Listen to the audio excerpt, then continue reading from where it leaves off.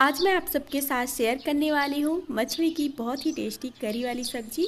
तो चलिए इसका मसाला लेते हैं सबसे पहले। तो यहाँ पर हमने ढेर सारे लहसुन के कलिए और एक हरी मिर्च लिए हैं और यहाँ पर देख सकते हैं बड़े वाले चम्मच के बराबर दो चम्मच पीला वाली राय लिए हैं। अब इसमें हम एक इंच अदरक ऐड करते हैं।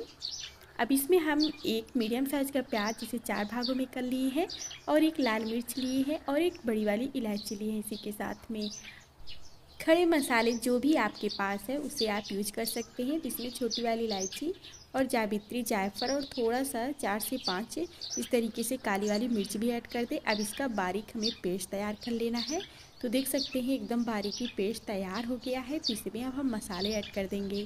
तो इसमें हम देख सकते हैं दो चम्मच, बड़े वाले चम्मच से लाल मिर्च पाउडर ऐड कर रहे हैं। स्वाद अनुसार नमक ऐड कर देते हैं। आधा चम्मच हल्दी पाउडर ऐड करेंगे, एक चम्मच गरम मसाला ऐड कर देते हैं।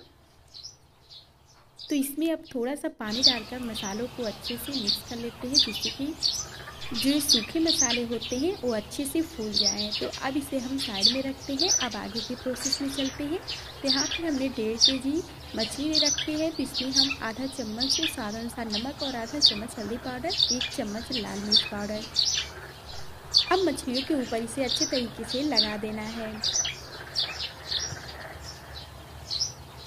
तो मछलियों के ऊपर ये बहुत ही अच्छे से कोटिंग हो गया है तो इसे थोड़ा देर पंद्रह मिनट के लिए रेस्ट पर छोड़ देते हैं।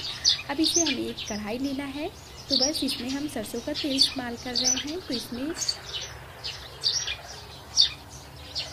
एक बात का खास ध्यान रखें, तेल अच्छी तरीके से गर्म हो जाने दें। इसके बाद हमें मछलियों को फ्राई करना है तो मैं तेल में एक एक करके मछलियों को इस तरीके से ऐड कर देंगे और गैस का फ्लेम थोड़ा सा हाई कर देते हैं।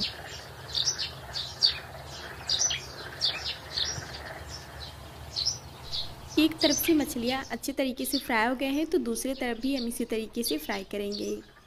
गैस का फ्लेम मीडियम ना करें थोड़ा सा हाई ही रखें।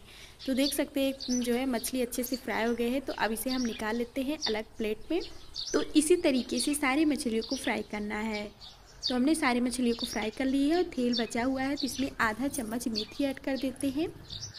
मेथी हल्का सा भुन गया है तो जो हमने मसाला बनाकर तैयार किए हैं, अब इसमें ऐड कर देना है। तो कढ़ाई में जो थोड़े बहुत फ्राई करते हुए जल जाते हैं तो कोई बात नहीं है, बहुत ज़्यादा जला नहीं होता है। मसालों के साथ ही बहुत ही अच्छे से अभी नीचे से छोड़ देते हैं। तो बस इस तरीके से मसालों को अच्छे तरीके से भूनना है। तो देख सकते हैं कढ़ाई में, ये बहुत ही अच्छे से जो थोड़े बहुत लगे थे, अच्छे से छूट गए हैं।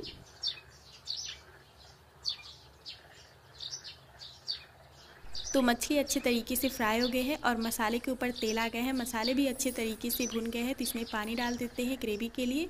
इसमें ग्रेवी के लिए छोटे वाले गिलास से तीन गिलास पानी ऐड किए हैं। ग्रेवी को लगभग दो से तीन मिनट अच्छे तरीके से पक गए हैं। तो फ्राई किया हुआ ये मछली डाल देते हैं इसमें। और इसे डालने के बाद एक मिनट बस पकाना है, इसके बाद गैस का फ्लेम बंद कर देना है। तो देख सकते हैं, इसमें हम आधा चम्मच आमचूर पाउडर भी ऐड कर दिए हैं। तो बस ये बहुत ही अच्छे से पक गया है, एक मिनट हो गया है, गैस का फ्लेम बंद कर दिए थे। और ये देख सकते हैं, मछली जो है तरी वाली बनकर रेडी हो गया है ग्रेवी वाली। तो आप सबको ये कैसा लगा? यदि आप सबको वीडियो पसंद आए तो प्लीज़ चैनल को सब्सक्राइब ज़रूर करना।